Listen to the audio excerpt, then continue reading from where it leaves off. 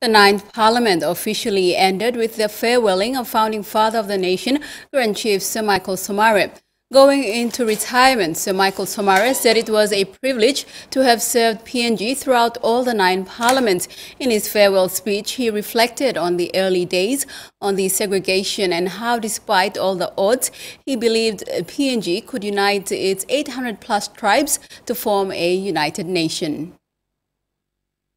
It was the only agenda of the day, a special ceremony to pay homage to Grand Chief Sir Michael Somare. He was escorted in after the Speaker had prayed for the last and final seating of the Ninth Parliament.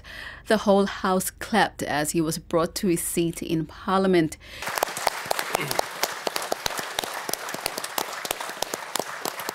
He said it was a privilege to have served in the distinguished House, one which holds an important role in safeguarding the Constitution. This very Parliament, when we adopt the Constitution, Constitution of Papua New Guinea was adopted.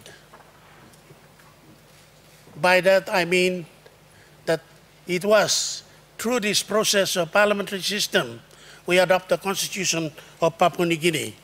And uh, it is very important uh, for all of us. As I am going out, making my way out, I had the privilege of serving people of Papua New Guinea as a member for ECP uh, with all parliaments since they elected me in 1968. I've not missed one. Reflecting back, he said he was a teacher and also a radio journalist, but his calling was to serve the people of Papua New Guinea through politics. On colonialism, he said it was a time of few rights and when opinion was given. That he hopes that 100 years from now, the next generation will appreciate their right of being independent. Many observers did not think we could do it. I always felt they were wrong. I refused to hear that I refuse to hear that. We were natives. We were not capable of doing anything. But we showed to them we did. Yeah. We can. He fondly stated that he chose a life of challenges and to lead the country as a true public servant. He acknowledged his share of political turmoil while acknowledging all those who stood by him. But most of all, he paid tribute to his supportive wife, Lady Veronica, and his children.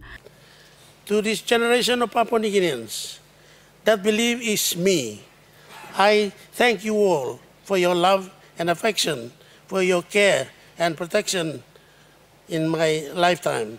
I gave my best years in this country, and I gave, I gave my best years in this country, and I serve as a politician.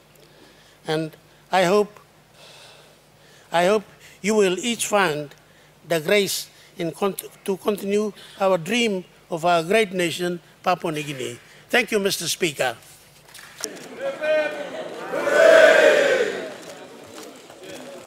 A public event is being organized by NCD Governor Powes Parkop for Thursday as tributes continue.